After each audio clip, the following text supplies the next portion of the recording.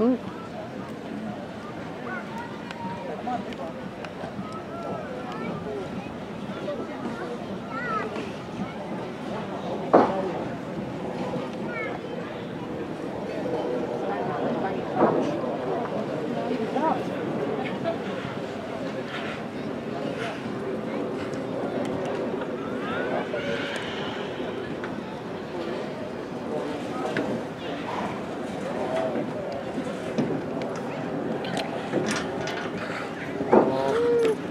And it's going to be close. Is she quick enough?